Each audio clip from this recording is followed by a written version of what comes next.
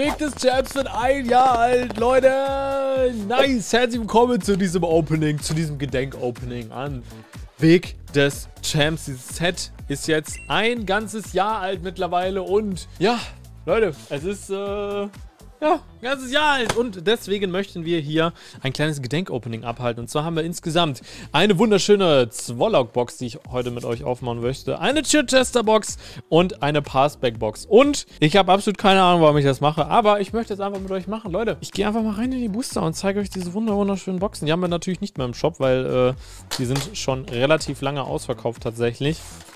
Wir behalten uns ja immer von ein, zwei Produkten mal ein paar da, um die halt mal für, für ein Video dann wieder zu haben. Und ja, gehen wir mal rein. Einfach Weg des Champs. Leute, ich kann mich noch genau daran erinnern, als das rausgekommen, rausgekommen ist. Es ist ja sau gehypt gewesen, muss man sagen. Ich muss auch sagen, die Promos sind echt schön. Hier machen wir mal. Und Gengar hier am Start. Und man muss sagen, rückblickend betrachtet war es irgendwie schon eine coole Zeit. Wir hatten echt coole Openings. Wir hatten echt super coole Streams in der Zeit mit äh, Weg des Champs. Also ich kann mich sehr, sehr, sehr gut daran erinnern, wie wir in den Streams teilweise super viel Weg des Champs für euch aufgemacht haben. Auch einige Glurax gezogen haben. Die VMAX Rainbow und auch die äh, VMAX, äh, beziehungsweise die V-Shiny. Uh, Pflanzenenergie und... Oh, oh No way! So. Auf jeden Fall. Und... nicht dein Ernst, oder? Es ist nicht dein Ernst. Und es war teilweise eine, eine witzige Zeit. Man muss natürlich auch sagen, Weg des Champs ist nicht das krasseste Set, muss man ganz ehrlich dazu sagen. Aber ich finde trotzdem, dass wir sehr, sehr viel Spaß damit hatten. Ähm, weil es einfach die Glorax drin hat. Und da wart ihr immer sehr, sehr gehypt drauf. Und natürlich auch wir auch. Wir wollen es natürlich auch ziehen. Wir haben es direkt im ersten 100er damals ja rausgezogen. Und ich hoffe einfach mal, dass wir es vielleicht jetzt auch ziehen werden. Leute, wenn wir das ziehen werden, dann feuere ich eine Konfettikanone ab heute. In diesem Video. Ja? Vielleicht ziehen wir es ja. Mal schauen. Vielleicht muss ich dann die ganze Bude putzen. Keine Ahnung. Aber ja, wie gesagt, Weg des Champs. Sehr, sehr verrufen teilweise, muss man natürlich auch einfach dazu sagen, weil außer dem Glurak ist halt nicht viel in dem Set. Das Gardevoir ist noch sehr, sehr schön, was ich feiere. Man hat noch ein paar schöne VMAX und Fullhards. Aber das war's. Die Pullrate ist nicht so ganz krass, muss man sagen. Die Produkte waren auch nicht so krass verfügbar, muss man auch dazu sagen. Und ähm, ja, wenn man irgendwie nicht das Glurak gezogen hat, dann war irgendwie in dem Set immer so vorbei quasi. Oder man war halt mad, dass man es aufgemacht hat. Und Silembrim. Aber wie ich das immer so gerne sage, es ist wie so eine Hassliebe, ne? Irgendwie, man, man weiß, es tut nicht gut, oder? Zitat aus einer Trash-TV-Serie, vielleicht kennt das ja irgendeiner. Ähm, Weg des Champs ist wie ein Snack. Man hat Bock drauf, aber nachher, im Nachhinein bereut man es halt auch einfach. Äh, deswegen. Sehr nice. Wir haben auf jeden Fall mal eine Feuerenergie. Und vielleicht... Oh, Kaokto Fuller. Direkt den ersten Hit. Im ersten Booster. Sehr, sehr schön. Da haben wir auch mal gesagt, das ist der beste Hit in dem Set. Und äh, ja.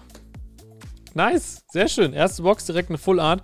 Leute, schreibt uns auf jeden Fall mal in die Kommentare euren Weg des Champs-Moment. Was war euer... Mit was verbindet ihr dieses Set? Verbindet ihr es mit, mit Frust? Verbindet ihr es mit nicen Hits, die ihr vielleicht hattet? Mit einem mit Lucky Glurak-Hit, den ihr zum Beispiel hattet? Würde mich mal sehr, sehr interessieren. Also schreibt das gerne mal in die Kommentare.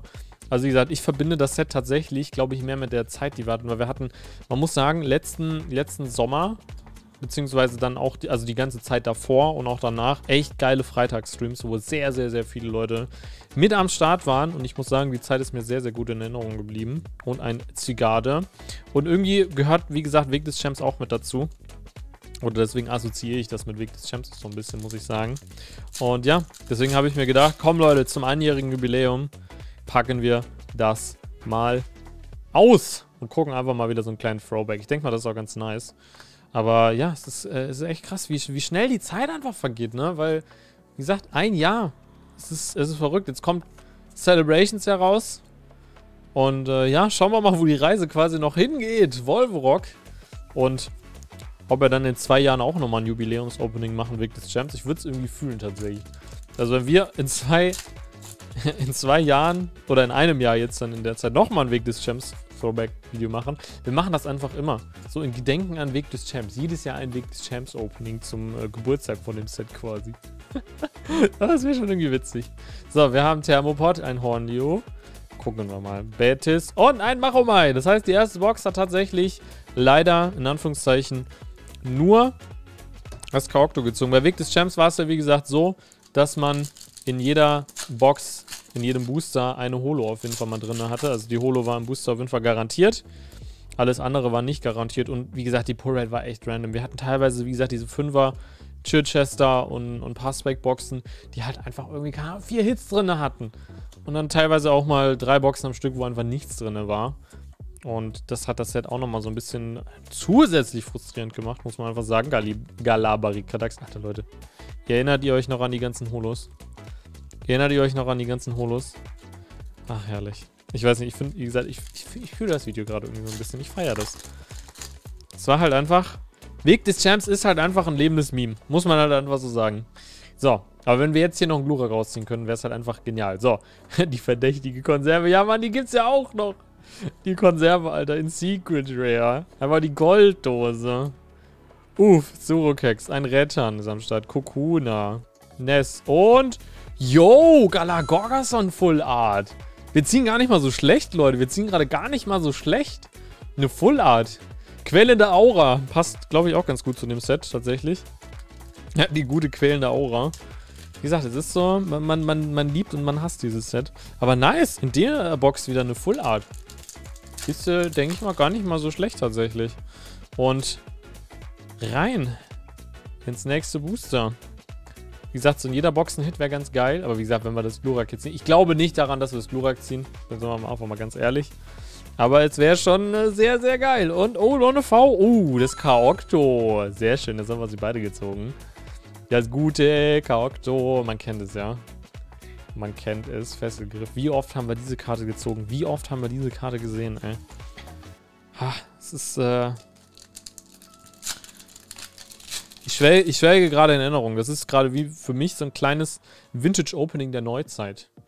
Vintage-Opening der Neuzeit. Wie gesagt, ich versuche jetzt immer mal wieder ein paar Vintage-Openings dazu zu bringen, wie zum Beispiel letztens das Sturmtief-Opening, falls ihr das noch nicht gesehen habt, checkt das auf jeden ab. Das erinnert mich an die Kindheit. Das erinnert mich an, an vor ein Jahr.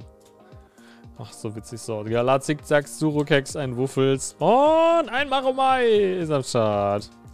Dum, dum, dum, dum. Nächste Holo. Ich wette mit dir, hier ist auch nur noch die Fullart. Also hier war nur noch die Fullart drin und dann war's das. Was ich aber sagen muss, ich feiere die Pack-Artworks übel. Ich finde die Pack-Artworks echt schön und ich muss auch sagen, das Set-Logo ist echt nice. Genau, was ich auch noch sagen wollte.